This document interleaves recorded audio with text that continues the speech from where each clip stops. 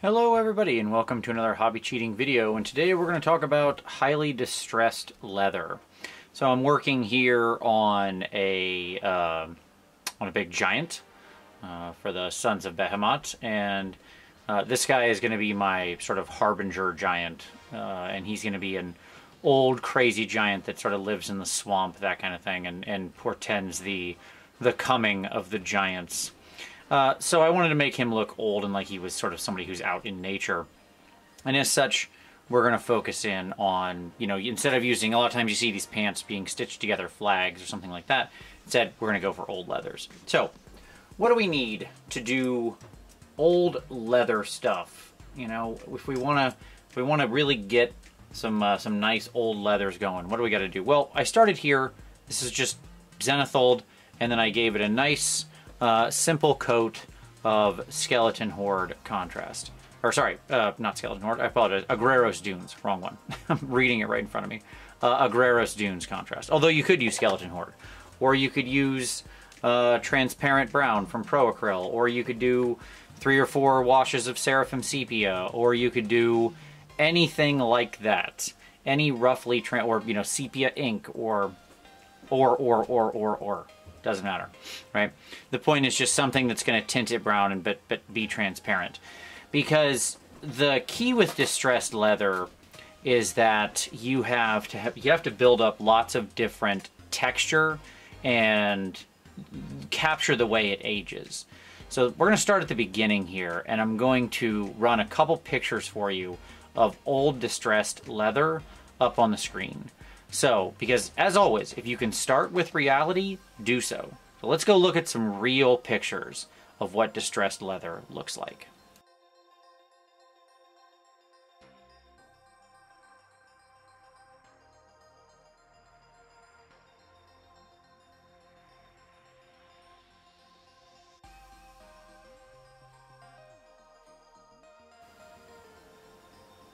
Fun, huh? Neat. So you can see that distressed leather often has, there's a couple things we can tell about it. One, it's got a lot of different lines and cracks in it because it's relatively thick and it's, you know, it's skin. It's originally a dermis, right? And two, it tends to wear towards edges. Uh, they get more, uh, they have more exposure. Three, it tends to retain scuffs, and those scuffs over time start to discolor and you can have different layers and levels of scuffs. So, given that, you also notice there's probably often like a spotting to it, where you'll see, um, you'll see like, uh, I don't know what to, basically what looks like a stippling effect. I don't know what else to call it in reality. I don't know what causes it. It's just, it's there. So, with all that being said, what we're going to do here is we're going to get a couple different tools. So first off, we're going to start with an ivory and a black. So in this case, I'm going to use just some Abaddon black and some Pro Acryl ivory. And we're going to use two different kinds of brushes. So the first being a very sharp, thin brush, and the second being a short, squat, stippling brush. Okay, so I'm going to get all set up here, and then we're going to come back and we're going to take a look at exactly how we apply these.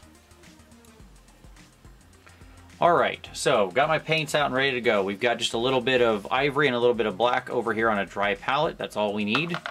Don't need to go any farther than that. We're gonna start with our stippling brush. You can also use a sponge, excuse me, you can also use a sponge for this. You can use an old toothbrush. You can use a lot of different stuff. Uh, but in this case, since I've got a nice short squat makeup dry brush, we're gonna use that. And what we're gonna do is we're gonna come in here and we're just gonna start stabbing at this. And we're going to stab focusing a little more on the edges.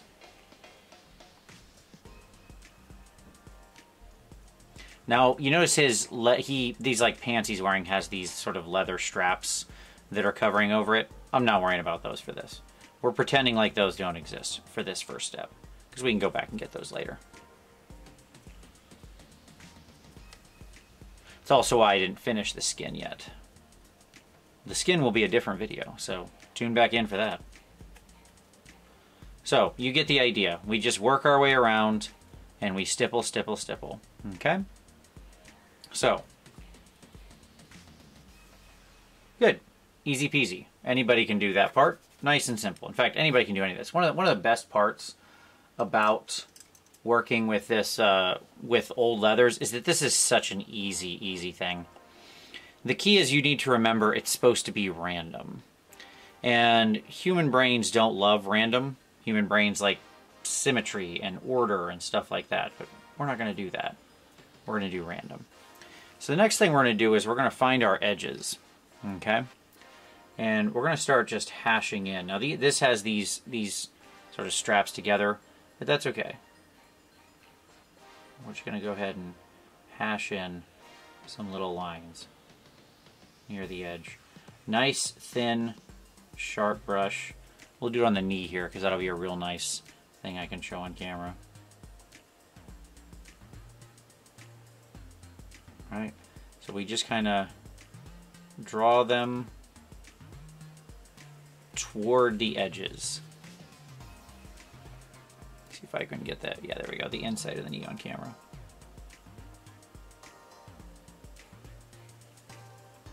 Here where you see these things poke out, this would naturally be grabbing some more stuff, be scuffing up against things, so we'll just go ahead and hit some harder ones there. Same with the bottom of the leathers. Right?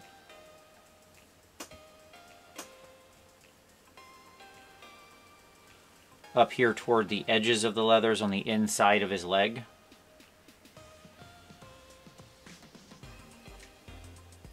And the key is you don't want to make them all the same size. You're not trying to create a bunch of evenly sized hashes. Some will be very long, some will be very short, some will be not the present at all. You just kind of let you just let it happen. You just kind of get into the flow, get into that zen state, and you just start making little lines. Okay? You can also make little lines other places. Doesn't have to be all near the edge. That's where they'll tend to gather. They're not all going to be there. So you can also just kind of just throw a little line right there. If you need help making sharp, thin lines, you can use a little flow improver. You can mix in a little ink, something like that.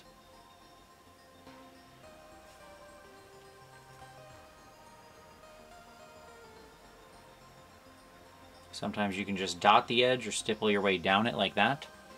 So instead of, they don't all have to be big lines. Sometimes you can do a little lines. You can stipple first and then kind of come in and just hash it out.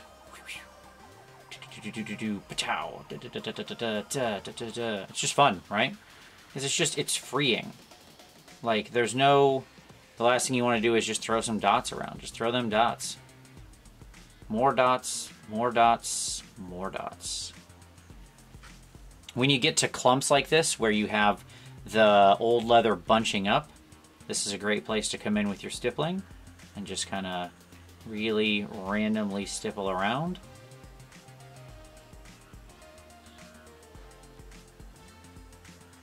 It helps you bring those folds out nice and strong. Same with anything like here. This kind of edge of the leg where it's all, you can see where it has this big cut. It's coming out and then suddenly it cuts back in. Great place to come in, stipple near these edges, and so on and so forth. So I'm just going to keep working my way around this thing. Just lots and lots of hashes and dots. Uh, but for, uh, like, I'll do that all off camera in a minute, but I'm going to show you what else I'm going to do at the same time, which is I'm going to take some of that black. Now I used Abaddon black because it's relatively actually weak.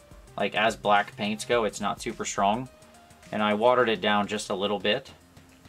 And then what you want to do is in the same way, you just want to come in and throw some of those dots around. Throw some scratches in with that. Mix in with the edges here. Again, quite randomly. This time you can hit a couple of high spots so you can have a place where maybe there's an, you're representing a small little cut or something like that. Doesn't you don't really need to pay attention to what ones you did previously. You can make a match like you could have a cut over top if you want. And that's fine, there's nothing wrong with it. It's your, it's your mini. You just want to get a couple like dark spots in there. And like I said, the Abaddon Black is so weak when you water it down a little bit. You see how that's really not turning anything strongly black, right? And that's what we ultimately want. You can also, into the deeper areas where you have more shadow, uh, you can also throw in just a bunch of little stipples there to like reinforce your shadows, but add some texture down there. So you got lots of options. The key is to go nuts. Like, just go wild. Have a good time. Just absolutely mess around, make little dots. Don't be don't be like a dot here, and then I'm going to put another dot here, and then an equal size dot here, and then an equal size dot here. Sometimes I make big clumps. Sometimes it'll just be one or two. Sometimes it'll be spread around. Like, be as random as you can. Turn your brain off. The key to any of these, these sites, types of techniques is to stop thinking about it. If you're thinking about, well, where's the right place to put it? Am I doing it right? Is it balanced? Did I get it symmetrical? Then it's going to look wrong. You need to just kind of like ran, get this like state where you're letting your uh, you're letting your hand and your brush do the talking, and your brain is just kind of off thinking about something else. That's really the nice way to go. That's that's what I recommend for painting. Stop thinking about it, make your brain do something else. Maybe, I don't know, think about your taxes or something. It's, right? I don't know. Something that you, you uh, are simultaneously required to think about and bored with. That way you, you, you're kind of angry at it at the same time. That'll help the, the stabbing motion. You know, you can channel that inner frustration into the stabs. Uh, so, we just keep working that around. Lots of little different sizes, lots of little different hashes. You can cross over with some of them. Okay. Boom. So I'm going to do that to all the leather around this thing, and then we'll come back in a moment. All right, so we're back. Our homeboy here is all sketched up. I'll show him in a minute, but I've made a little premix of six different things. I'm going to show you how much fun we can have, because now we're at the fun step. So over here on the left, we have some of our old friend Agrax Earthshade. Here at the top, we've got some trans transparent brown and transparent black from Pro Acryl. I like their transparent brown because it's very orangey. Uh, down here, we've got some smoke uh, from Vallejo Model Color. Nice, transparent, uh, really rich, interesting color. Right here, we've got some Andalusian Earth. Andalusian? It's a green wash uh, from Green Stuff World. And right here we've got some sepia ink uh, from Game Color. So all of these have been thinned. The inks, the ones that are heavier have been thinned. I used a little Green Stuff World Master Medium and War Colors Flow Improver uh, just to get everything kind of moving and, and very liquidy. So now comes the very fun step. So now what we do, we're to move this over to the side so I can actually bring this guy onto camera you can see we've got a whole riot of nonsense here. Just nonsense. And that's okay. We want to start with the nonsense. So what we're to do is we're to take some of each of these and start working it over these in interesting ways.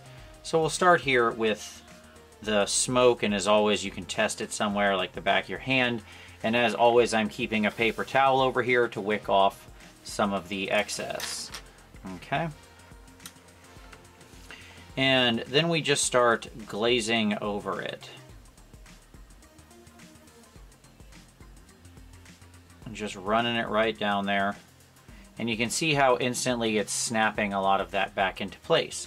But we can play around. While it's still wet, we don't have to be... This is the great part about it. With these old leathers, they have lots of different tones and colors to them. And we can just play with that. So let's get some transparent black here into some of these shadows.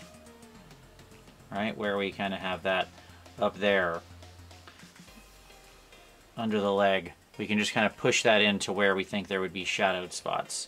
We can grab a little bit of our Agrax, smooth that out, let that run down into there.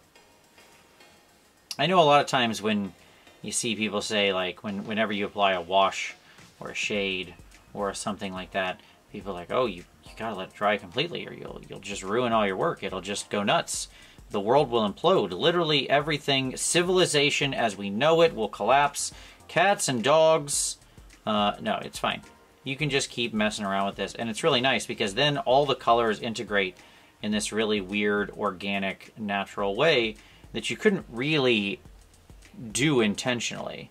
Um, You do want to make sure you avoid pooling, so every so often you'll kind of go through and, you know, pick up some of the excess and wick it off. But just let it start staining everything. Think of this like, um, like you're staining a coffee table or something, you know? Here I have just a big selection of colors because it's fun to work in a bunch of different stuff. Leathers have all these different tones in them. And again, the reason I'm letting the paint kind of decide where it wants to be to a point, like letting it run around and and go kind of nuts, is because again, this stuff gets like old leather is very organic. It has weathered organically. What I mean by that is it's had a hundred little scratches and dents and dings and things that have happened over the years. We'll paint his big butt here. This guy, this old giant has like the biggest butt. He's just got a big flat butt. So because it's so organic in how it's been weathered, we have to do our best to try to match that uh, using just the, the paint, the tools we have at our disposal, which is just basically paint. And I can't, you know, we in the scale, we're not going to match actually a hundred little uh, different years or days or whatever, depending on how old the leather is of the various scratches and hashes and dots and things like that, but we can set it up with layers. And by letting these colors flow together, incidentally, by having different shades and tones show up in there, right, we can make it so it feels much more organic, much more like it is in nature. When you'll have leathers that have lots of brown tones in them, and then they've got blacks and stuff like that mixed in, deep, you know, purplish tones, sepias, all sorts of things. So we can just kind of go nuts and, and have that in there. You can stipple these things around, do whatever you want to your leather. You decide. This is your world. You are the creator. And so the advantages to using all these different inks and stuff like this is not only that it then gives you a nice sort of automatic, careful touching your finger against it or that'll happen this guy broke free of his little uh, thing I'm holding him on in case that's not horribly obvious. That's fine. Such is life. We paint on. You notice how I'm often just really flooding the area, but then going back and removing it. Again, that's an intentional choice, because by just flooding the area, what's going to happen is those pools are actually going to make some like little coffee stains here and there. Now, usually when we're washing and applying inks, our nightmare of nightmares is coffee stains, right? In other words, if you've ever seen that um, that sort of tide marks that show up on your miniature after you've washed it, that's a coffee stain, right? And it's usually an absolute nightmare. However, in this case, and especially with old leathers, this is one of the one of the times where it's not a disadvantage, it's an advantage. Having a wash that sits there and coffee stains things actually makes the leather look a lot cooler because that the way that it tide marks and sort of in it, it that's happening because it's dispersing pigment in, unevenly. And the way it's doing that is actually much like how old leather looks. So in this case it actually ends up being a huge advantage for us to do that so eventually though you will get to the point where you want to just kind of let it rest, where you've mixed enough of your colors in, you've got kind of everything going on there, all of our different spots. Maybe we've got enough of our dark colors, whatever we feel is apropos. Cleaned up enough of the big pools, and then at some point we're going to let it rest. And so now you can see with it wet, you can see how that covered up all of our, all those different hashes, but they're still kind of showing through. If you see any big pools like that, that you want to kind of get in there and sop up. You don't want anything that large sitting on a flat space. So once you're decided to let it rest, you just kind of go in with a mostly dry brush. And you just kind of dab it around there. And just make sure you got all those little elements out. Now the key is we let it dry and we see what magic has happened. Uh, by the way, you can go a lot more crazy with the colors than I did here. Uh, I used a lot of kind of things that are still in brown and worked in some greens here and there. But you can really go nuts with this. Leather is actually quite a wide variety of influenced colors. You can work in reds, you can work in um, purples, you can work in, as I'm doing here, greens. Uh, yellows and oranges are certainly on the table. So, I mean, you can really have a good time working in, as long as they're thin and transparent like this, you can kind of stick anything in the into leather. And as long as the sort of majority tone is a brown or a sandy or a black or something like that, it'll feel completely appropriate. Um, it'll just feel like a pretty old, worn, exotic leather. Uh, so, we're going to let him sit let that dry and we'll come back in a minute and I'll talk about next steps you can do to go from here. All right, so here's our big boy. Why didn't you re-glue him in between the time when it was drying, Vince? Well, that's an excellent question, viewer. I don't know. I don't know what the answer to that question is. But at any rate, so you can see how he's, uh, it's all dried out, and now we get some real interesting, see all the natural transitions and colors in there where you can still see all the little texture poking out from below right? Like a lot of our hashes and scratches, they're still there, but they're much more muted. They look much more part of it now. So now you've got some fun steps you can do uh, because the reality is you don't have to stop here. As with all of these things, you could, and this is perfectly acceptable leather. There's nothing wrong with, you know, where we're at right now, but of course you can keep going farther. Uh, so we're going to go a little farther in this video because, hey, come on, isn't that what we always do? Don't we always go just a little too far? Uh, but if you leave now because you like it or because you're you're happy with this, go ahead and hit the like button on your way out. All right. So basically, I can get some more of that ivory that I've got.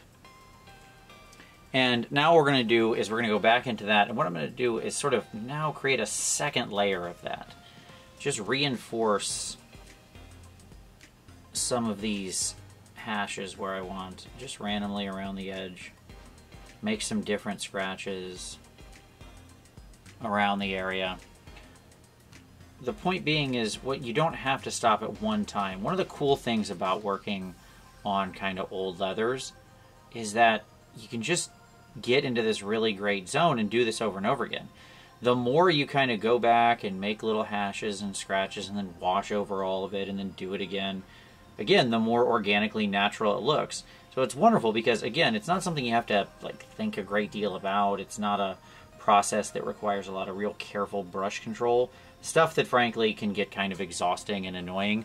I mean, we've all been to that place where, you know, hours into edge highlighting something, you just want to kind of uh, slam your head against the desk because you're you you you've hit the the wall of how much you can do what is a very mentally exhaustive process.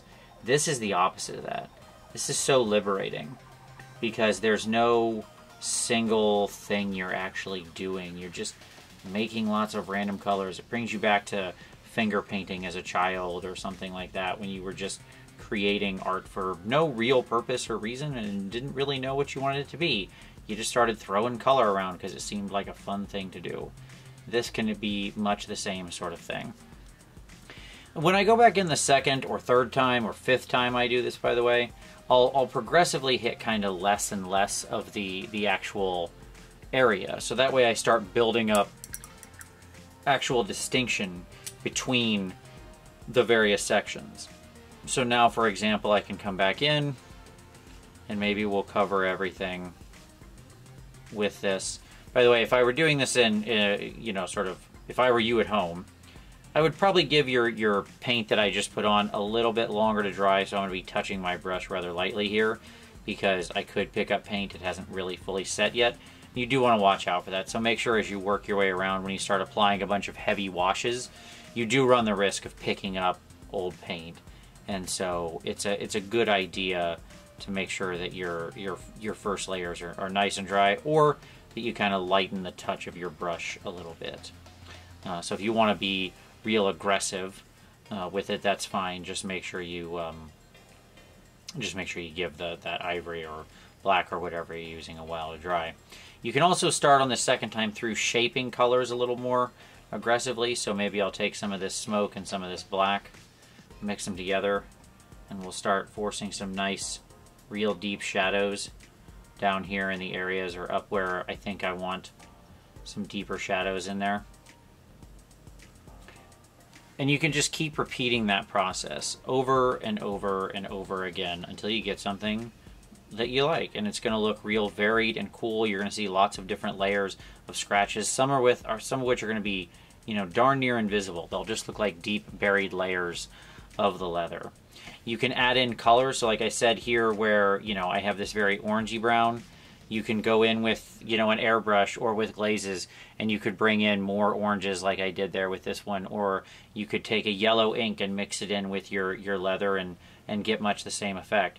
So there's really lots of fun things you can do. In this case, I'm going to eventually work in a lot of different greens into this guy because again, swamp, dwell swamp dweller, you know, weird old hermit of the woods is what I'm aiming for. So because of that, I want to make sure that he has that kind of green tone hidden without. I think it'll actually work really nice against the, uh, the other tones in here. But that's it. You just keep repeating that, and you can get to a really fun space, place as far as looking like you've got heavily distressed, very old, worn leather. So there you go. I hope you liked that. Uh, if you did, hey, give it a like. Uh, so if you've got suggestions for future hobby cheating videos or questions about this, feel free to drop those down in the comments. Always happy to help. Uh, but uh, subscribe for additional hobby cheating. We have new videos here every Saturday. As always, I thank you very much for watching this one, and we'll see you next time.